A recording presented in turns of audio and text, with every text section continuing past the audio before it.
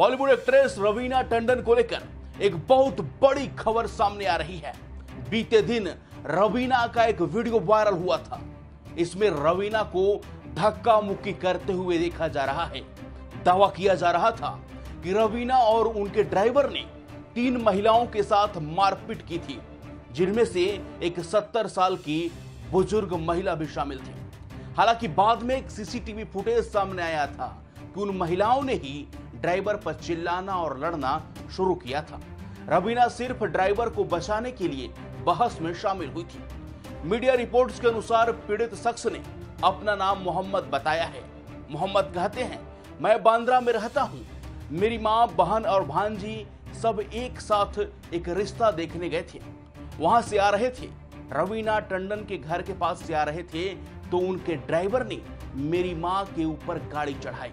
उसके बाद जब उसे कहा कि तुम क्या कर रहे हो तो उसने मेरी भांजी के साथ भी बदसलूकी की, तूतू में में की और बहुत मारा। आपको बता दें कि रवीना जहाँ अब तक इस मामले में किसी भी प्रकार से बयान देने से कतरा रही थी, वहीं उन्होंने हाल ही में अपने एक्स अकाउंट पर एक पोस्ट साझा कर चुप्पी तोड़ी है। अभिनेत्री ने एक बयान साझा किया है।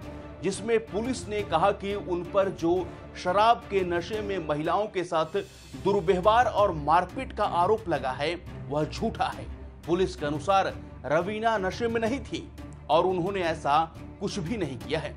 इस मुद्दे पर बॉलीवुड एक्ट्रेस और मंडी से बीजेपी लोकसभा प्रत्याशी कंगना के भी प्रतिक्रिया आ गई है।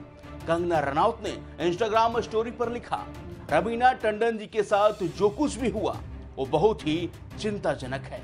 अगर उस ग्रुप में पाँच छह लोग और होते तो पीट पीट कर उनकी हत्या कर देती। हम इस तरह के रोड रेज जैसी घटनाओं की निंदा करते हैं।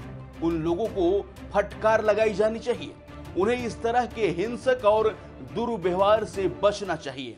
इसके बाद मुंबई पुलिस की तरफ़ से बयान जारी किया गया, जिसमें कहा गया कि सीसीटीवी फुटेज को खंगाला गया है, जिसमें साफ़ दिख रहा है कि रवीना ने किसी पर गाड़ी नहीं चढ़ाई। वो नशे में नहीं थी।